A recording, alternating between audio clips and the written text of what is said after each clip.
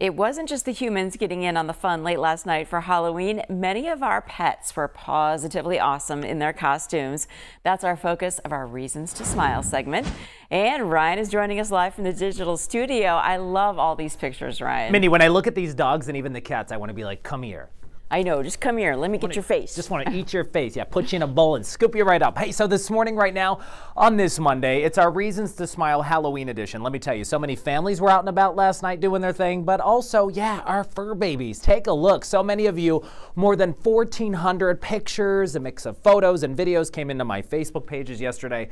And let me tell you, the pets, they really delivered a frightfully fun time. And Melinda, are you ready to see this dog?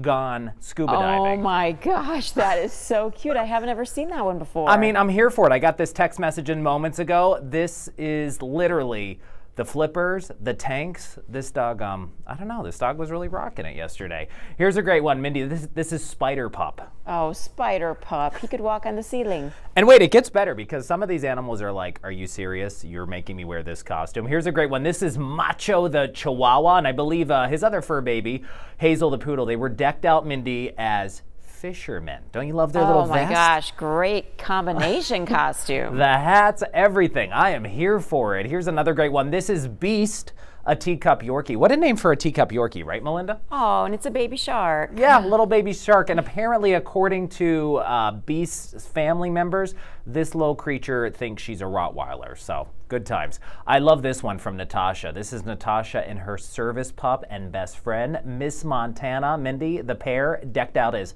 witches. They are. It's like a whole coven right there. Yeah, thanks to Natasha from Blakely for sharing that shot. Here's a cute one, too. Cheryl and the cat. Sammy as a skunk. You can see her dog on the left left. And on the right, little brother Oscar, the kitty, naturally looks like one. They're from Saylorsburg. Oh, they're twinsies. I love it.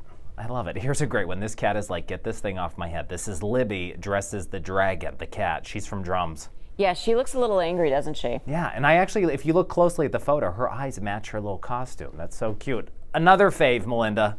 Oh, yes, a Maine Coon cat. I love it.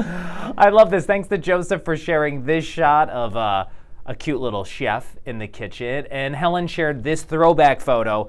I believe this was Buddy from a previous year who uh, crossed over to the Rainbow Bridge. So a lot of families looking back on some of their fond memories with oh, their that's uh, sweet. fur babies. Really adorable. From Melissa and Buddy and Tyler waiting for trick-or-treaters in Penn Forest Township. You know, as I said, the, the animals were very busy last night our frightfully fun fur babies. Even the horses got in on the fun. And Mindy, I have to point out, not all of the pets, especially the pooches, were fans of their costumes. Take a look at this. Give me that. Giselle, yeah, thanks to Tina for sharing this. This is Giselle Mindy tearing apart her costume. She was she was not a fan. You know, she just wasn't into the vibe, you know? Yeah, she was not really feeling it. Here's another great one. My fur baby puppy Chief. Uh, this is the grand fur baby. Can you see this golden doodle shaking like a machine and that little cowboy on the back? So cute. Thanks to Marcy for sharing this shot. Look at all these pups, Mindy. They are ready to go on Halloween.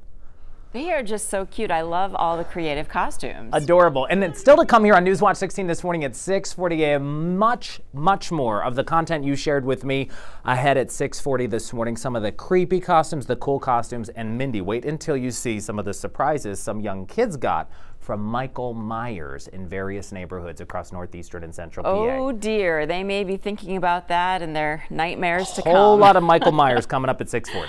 All right, thanks a lot, Ryan. Now we've got Valerie